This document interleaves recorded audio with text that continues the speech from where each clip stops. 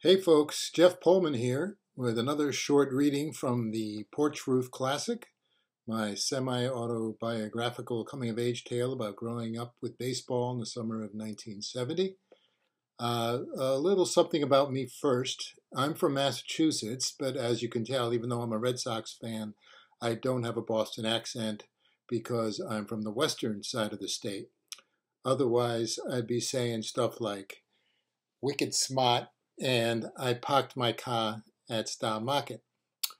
Anyway, today's selection is from Chapter 7, after Joey gets sent to Camp Mackalake in the Berkshires for a couple of weeks to get out of his nervous little brother's hair.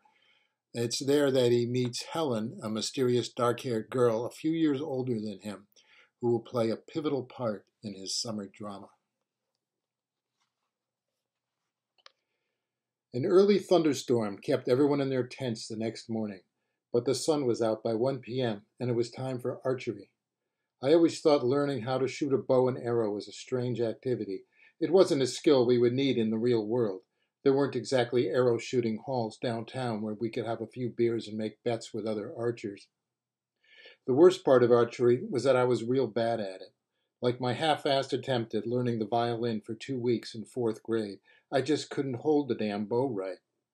The archery instructor was a husky, man-like college girl named Fran, who wore her long hair back in a thick medieval braid and let out a loud whoop every time someone's arrow landed within a few inches of the bullseye. My first attempts were disasters and sent squirrels ducking for cover in the patch of woods behind the targets. What do they call you, Sonny? Fran asked me from halfway across the clearing, her arms folded. Uh, Joey? And what team? Chet? Okay, and did Team Chet get served oatmeal with raisins and nuts this morning? Uh, yeah. And did Joey of Team Chet finish his oatmeal with raisins and nuts? Yep. Well, you fooled me. Fetch your arrows, get back in the line, and watch the others. I handed the bow to Barry and retrieved my wayward arrows from the woods, which took a few minutes. I felt like an idiot and really hated being called Sonny. We were in the same line as the boys from Team Greg with Teams Sally and Ursula a few yards away. Yonkers Fred was missing the target too, not because he was a spaz, but because Team Ursula was a little too distracting for him. Whoop, whoop! Fran's double whoop suddenly froze us in our tracks. We looked right and saw a black haired girl calmly load and fire arrow after arrow at the center of the bullseye. The first three hit the blue ring, the fourth hit the red, and the last one stuck in the yellow. Everyone cheered and applauded, and I got a better look at her. It was the girl from swimming, with the dark, soulful eyes, who looked at me before yanking off her bathing cap. She handed her bow to the next girl, gave a mock curtsy to the approving crowd, and retreated to the back of the line without even bothering to retrieve her prize arrows. Fran was so impressed she hurried up and fetched them for her. Wow, not sure I've ever seen a three whooper, but that was close. Fine shooting, Helen. I stared at the girl in awe, as many of us did. She hung her head a moment and took a deep breath, then proudly raised it again, brushed the wavy back hair off her face, as if ready for her next challenge. My final two archery rounds were worse than my first, and as the teams left the clearing to head back to their tents, Fran took me aside. Practice is everything in life, Joe. It's Joey. Right. Shoot another five or ten, please, before you head back. You know, I couldn't sew a button on a shirt until my mom made me do it an entire night. She gave me a chummy wink and went off with the others. I groaned.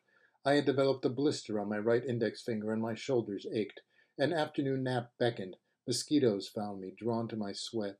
I trudged back into the wood patch to get my arrows, forgot exactly what poison ivy looked like, and suddenly didn't care. Make fear your target. I spun around.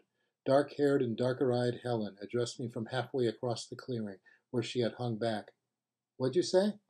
She threw all her hair over one shoulder and walked towards me. There was a graceful, confident stroll to her movements. She was wrong. Maiden Fran of Camelot, I mean. You don't aim at the bullseye, you aim at fear. Fear? Yep. Fear of people watching, fear of failing, or pissing or crapping your pants or saying or doing the wrong thing. Face it, kiddo. Fear will beat you every time if you let it. Grab the bow. I didn't really like being called kiddo either, but Helen in that moment could have gotten away with calling me Joey Bishop. I quickly found the last arrow and ran back to pick up my bow. She curled her mouth into a warm smile and put out her hand. Joey, right? Yeah. And Helen? Helen Fishblatt. A pleasure.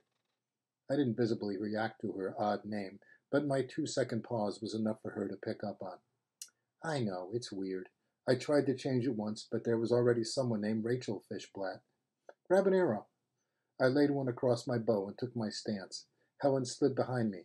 She had washed her hair with some kind of earthy shampoo that smelled all cinnamony, like holiday potpourri. All right, now kick every stupid fear out of your head and focus on the bullseye. Okay. Get them all? If not, if there's any left, stick 'em on the bullseye, because you're going to impale those punks. I drew back the arrow. She put one hand on my gut and the other on my spine. Back straight now. Okay, it is. Your mom's yelling at you to pick up your room, and that's her dad's center with a yellow face. But she wouldn't. I always, then it's the dirty dishes. We're playing here, Joey. You're afraid to talk back to her, and there's that fear now, big and ugly and right in the middle. So shoot it. I squinted at the target and shot. The arrow stuck its landing on the outer edge of a blue circle. Hey, she cried, you're an archer. I rapidly went through my four other arrows, Helen backing away a bit further each time. The first hit the woods again, but then I pinned Danny Blight's smug face to the bullseye and hit the red ring with all three. Helen didn't whoop at all, but grinned and gave me a solid victory hug. She was definitely a few years older than me, like sixteen, and had actual breasts I could feel against my t-shirt. Ahem, Miss Fishblatt.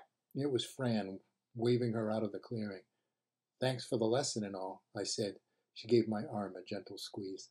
See you at grub time, and strolled away, still unhurried, still confident.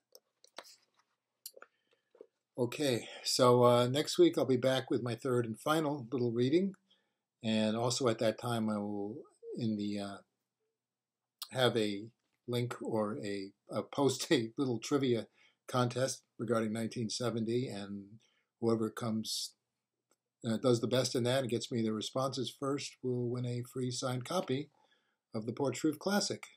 Uh, the Amazon link is below, and on YouTube you can get the link right there. And uh, that's it for now. We'll see you in a week.